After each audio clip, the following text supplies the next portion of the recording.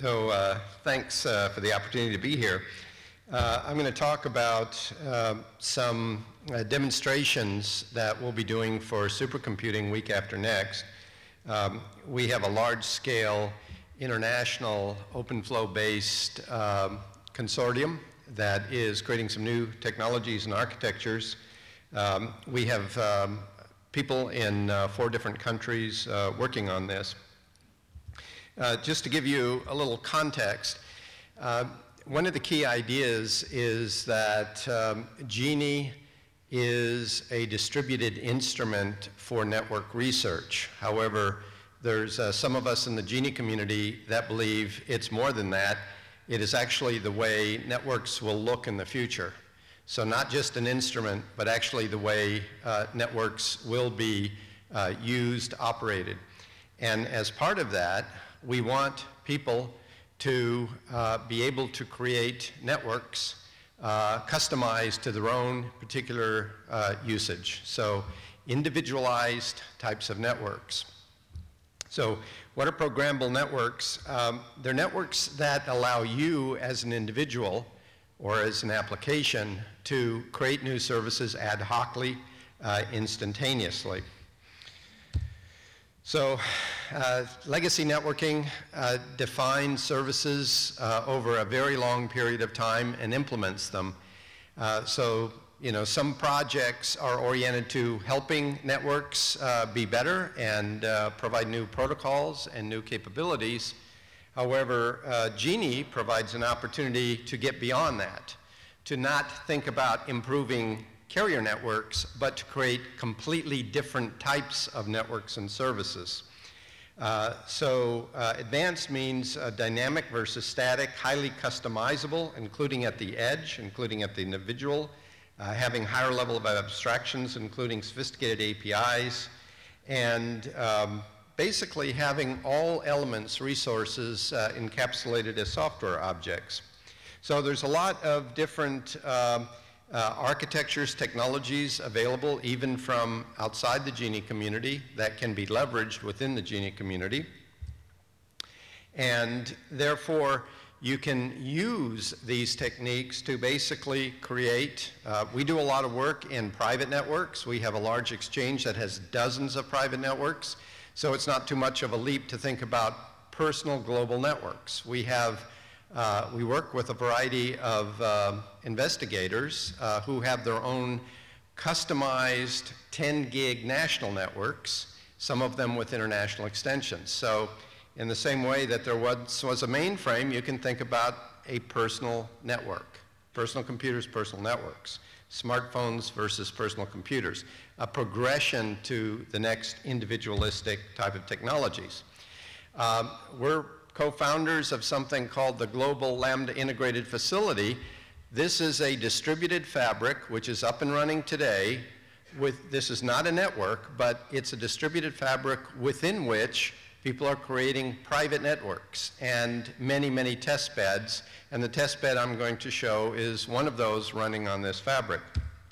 Um, another one I'll mention is just one of many test beds. It's called the uh, HPDMNet, the High Performance Digital Media Network. This is an ad hoc network governed by the edge, governed by individuals uh, to create uh, customized ad hoc networks to support uh, high definition digital media 100% at layer one, layer two, and it's a global fabric. Uh, we're working uh, with the GENI community to have a persistent programmable fabric, and this is uh, some of the work that we've done with our colleagues in GENI. And more recently, we have been uh, developing this international uh, OpenFlow-based uh, fabric uh, with um, uh, colleagues in a variety of different countries. Now, for the demo itself, we were asked to provide a architectural stack, which I'm going to provide here, and um, but I would like to get right to the demo. Uh, we're going to show you a client as part of the um, personalization.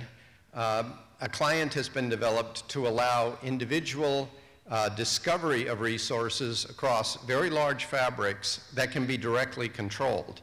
And by directly, I mean you don't necessarily need middleware or FlowVisor. You can go right to the core elements and directly uh, customize them, and that's going to be shown as part of this demo.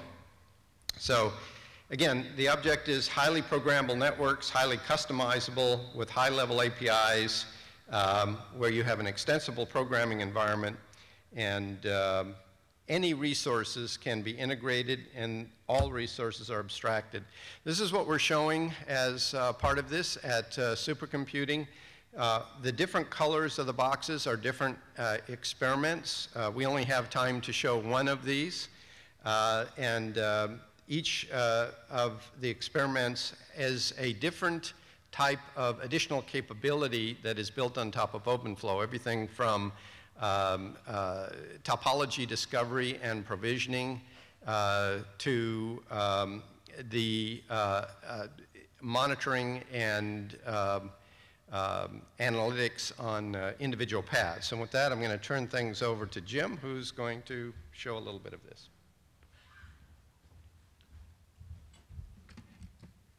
Uh, let me explain a little bit. The three demonstration we are uh, having is uh, one uh, lead by iCAIR, and uh, it's uh, primarily it's a program programmability of individual personalized in individual network. The second one is a lead by SARA in Netherlands, and primarily they in they implement the 802.1ag for inter-domain monitoring. So the third one is lead by uh, NCHC Taiwan, which is a National Supercomputer Center in Taiwan. And uh, what they uh, accomplish is use the LLDP, which is a standard in layer two, and uh, use that for interdomain uh, uh, topology discovery. So what you will see is uh, since uh, no guarantee of a demonstration network can come up, uh, especially when using wireless, so I did some uh, screen capture. So I go through the, the motion, how this works first. Then we'll try to go live, see how, we, how far we can go. So on, the, on my right-hand side, what you see is uh, a standard OpenFlow uh, device and uh, being modified can take a LLDP. And what you see there is uh, three different domains and across the do different domain, and the link in between is indicated by the arrows. So what you see on the right-hand side is our uh, individualized uh, controller or uh, the basic appliance. You can, what you can do with it is you can program the VLAN, you can pro program the flow, and uh, you can actually do some layer two uh, testing uh, on the same interface. So what you see here is uh, I go into VLAN, I tell it to show my VLAN, and uh, hold on, let's see. The next one is I tell it, say, I want to delete one. Okay. Then it's gone. It show, display it. You see the color changes because uh, it refreshes as you reload it, so it's a random assigned color. But what you need to notice is uh, there's a MAC address there, there's a, the switch we're manipulating.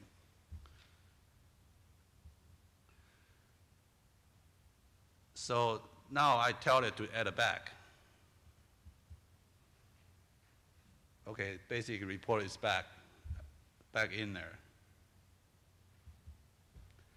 Uh, since this uh, uh, controller can point to a different individual device, uh, right now we point to an OpenFlow Pronto switch. So integrated two allow people to use it and two different two different tools you can use it together. So that's that that's one of our demonstration. The other, uh, I think I'm out of time, so I just want to show you one one display. This one actually is live it's uh, 802.1ag. We set up to monitor the link, and the backend is uh, perfSONAR data and feed into the display. So what you see here is uh, the live. I think uh, you can see here, the clock's supposed ticking. It's pretty, pretty slow, so you don't see a jump. But uh, the network to the show floor is not there yet. So it can do all the monitoring for the uh, 802.1ag. So this is probably 20 different kind. Right now, we just look, look at link. That's it. Thanks, Jim. Thanks, Joe.